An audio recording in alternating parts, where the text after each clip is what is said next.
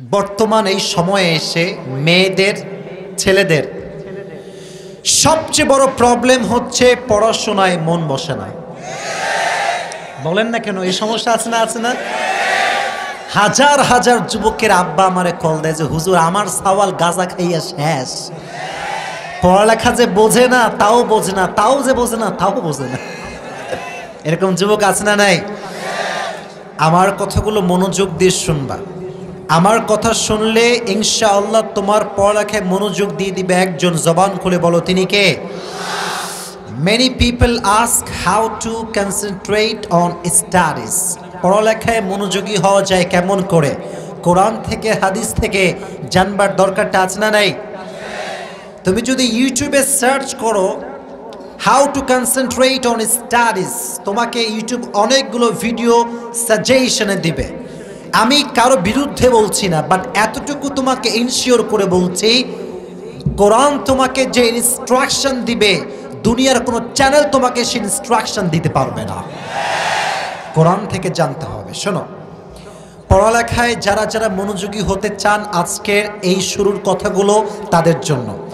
পড়ালেখায় যেই মেয়েরা মনোযোগী হতে চান, যেই ছেলেরা মনোযোগী হতে চান, এক নাম্বার উপায় যদি পড়ালেখায় মনোযোগী যুবক ভাইরা হতে চাও, গুনাহা থেকে বাঁচতে হবে।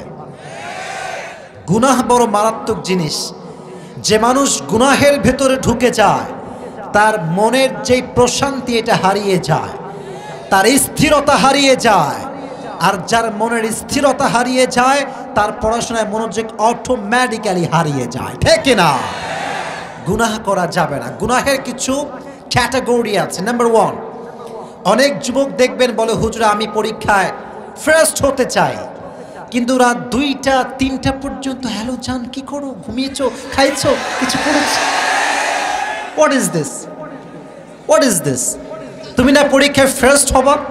পরীক্ষায় যে ফার্স্ট হতে চায় গার্লফ্রেন্ডের পাল্লায় পড়লে তার জীবনটা বেকা হয়ে যাবে, এক নাম্বার কখনো হওয়া যাবে না। You have to abstain yourself from any kind of sins গুনাহ থেকে বাঁচবে যে তার মনে প্রশান্তি দিয়ে দিবে, একজন আওয়াজ দিয়ে বলেন, তিনি কে? গুনাহের অনেকগুলো ক্যাটাগরি আছে।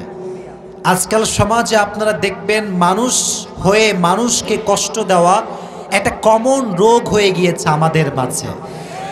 ইভেন অনলাইন তো বিশাল বড় একটা প্ল্যাটফর্ম হয়ে গিয়েছে, এক হুজুর আর এক হুজুরের বিরুদ্ধে গালি না দিলে মনের প্রশান্তি খুঁজে পায় না। এই মারামারি বাংলাদেশে আছে না নাই?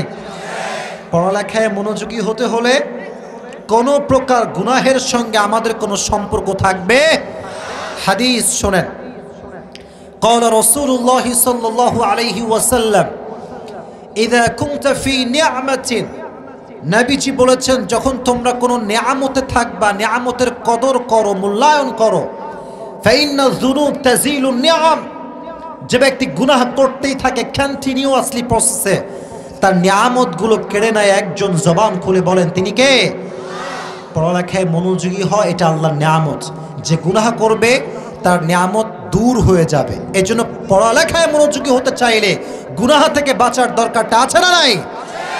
নাম্বার ওয়ান নাম্বার টু যদি পড়ালেখায় এই এদিকে তাকাও এই যুবক ভাইরা, এদিকে এদিকে। পড়ালেখায় যদি মনোযোগী হতে চাও, যখন পড়ার টেবিলে বসবা কথা কি বোঝা যায়? এই ফোন কমপক্ষে চোদ্দ মাইল দূরে থাকতে হবে। আসতে ঠিক বললে কেন তোমরা, যুবক ভাইয়েরা? কোনো সন্দেহ আছে তোমাদের ভেতরে? জীবনে বিলগেটস হতে হবে। জীবনে বিশাল বড় ইঞ্জিনিয়ার হতে হবে। পড়লাম, পড়ে তামা তামা করে ফেলব আজকে। বইটা খুলছে, ঘিরে একটা মেসেজ মনে কেবল ক্রিম করে আসলো মনে হয়। বেচারা কিন্তু ভালো ছেলে। ভালো ছেলে, এমনি ভালো ছেলে। আচ্ছা দেখি তো মেসেজটা কে দিয়েছে? আচ্ছা মেসেজ দেখতে গিয়ে হঠাৎ করে ফেসবুকে একটা পোস্টে একটা নোটিফিকেশন আসছে, অ্যাঞ্জেল প্রিয়া আপনার পোস্টে মন্তব্য করেছে। ওই যে যুবক ফেসবুকে ঢুকে গেল, তার যুবন যৌবন তামা তামা হয়ে গেল। এই জন্য যুবক, তোমাদের কথা কিন্তু আমি বুঝি, ভালো করে বুঝতে হবে আমার কথাগুলো। যখন পড়তে বসবা মোবাইল ফোন চোদ্দ হাত দূরে থাকতে হবে, ঠিক কিনা বলো? নাম্বার টু নাম্বার থ্রি যখন পড়াশোনায় মনোযোগী হতে চাচ্ছ তুমি, পড়তে চাচ্ছ তুমি just try to recite the holy Quran before you go to study যখনই পড়তে বসবা পড়ার টেবিলে, যতটুকু পারা যায়, একটা সুরা হোক, এক পৃষ্ঠা হোক, আধা পৃষ্ঠা হোক, যতটুকু পারা যায়, আমরা তেলাওয়াত করব, ইনশা মানুষ যত কোরআন তেলাওয়াত করে, তার ব্রেইন তত ফ্রেশ হয়ে যায়। যার ব্রেইন যত ফ্রেশ থাকে, তার পড়ায় মনোযোগ তত বেশি সহজ হয়ে যায়। ঠিক কিনা বলা এই জন্য কলিজার টুকরা প্রিয় ভাইয়েরা, এই কোরআনটা বেশি বেশি পড়ার দরকারটা আছে না নাই? সবাইকে পড়ালেখায় মনোযোগী হওয়ার তৌফিক দান করুক, সকলেই মন খুলে মন খুলে পড়ে না, আমিন। সর্বশেষ কথা এটি বলে আমি আমার তাফসির শুরু করব। এবং সেটি সবচেয়ে গুরুত্বপূর্ণ একটা চ্যাপ্টার কথা কি আমার বোঝা যায়? আমি যে যুবকদেরকে অ্যাডভাইস দিচ্ছি, আপনারা কি রাগটা করছেন নাকি? আসতে বললেন, কেন রাগ করছেন আপনারা? যদি পড়ালেখায় মনোযোগী হতে চাও, কোনো মেয়ের পাল্লায় পড়া যাবে না। পেছনে ভাইরা ঠিকঠাক কিছু কয় না, তবা টবা করছেন নাকি? জোরে বলতে হবে তো, ঠিক কিনা প্রিয় ভাইরা আমার? মেয়ে বড় ডেঞ্জারাস জিনিস। তোমার পড়ালেখার চোদ্দ গোষ্ঠী শেষ করে দিবে একেবারে। তোমার মনে হবে কি জানো, এই যুবক, অনেক যুবক মনে করে যে, আমার গার্লফ্রেন্ড থাকলে আমারে আর কে ঠেকায়? তোর গার্লফ্রেন্ড আছে বলে তোর জীবনটা খালি প্যারা আর প্যারা চিল বলতে কিচ্ছু নয় যে যুবকটা আজ অব্দি সিঙ্গেল তারে বলেন, দাঁত কেলায় হাসবে বলে, বেটা, কি বলিস তুই? আমি তো পুরো চিল আর chill R chill. I don't have GF that means I don't have any kind of প্যারা ঠিক না এই জন্য পড়ালেখায় মনোযোগী হতে চাইলে নারীর নেশার থেকে বাঁচার দরকারটা আছে না নাই? আল্লাহ যুবক ভাইদেরকে পড়ালেখায় মনোযোগী হওয়ার তৌফিক দান করুক পড়া আমিন। আল্লাহ মেয়েদেরকেও পড়াশোনা করার তৌফিক দান করুক, সকলেই পড়া আমিন। আমার সঙ্গে এই মুহূর্তে শপথ বাক্য পাঠ করতে হবে, তারপরে আমার লেকচার শুরু হবে।